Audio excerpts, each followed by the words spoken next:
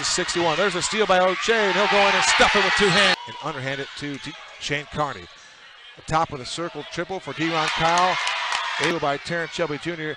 And now underneath O'Shea with the block. O'Shea blocked the dunk attempt. Devon the alley-oop, and the dunk. The alley-oop by Bowers. Look for Devon Kyle. Here it is. Two-handed jam. O'Shea to the alley-oop to Devon.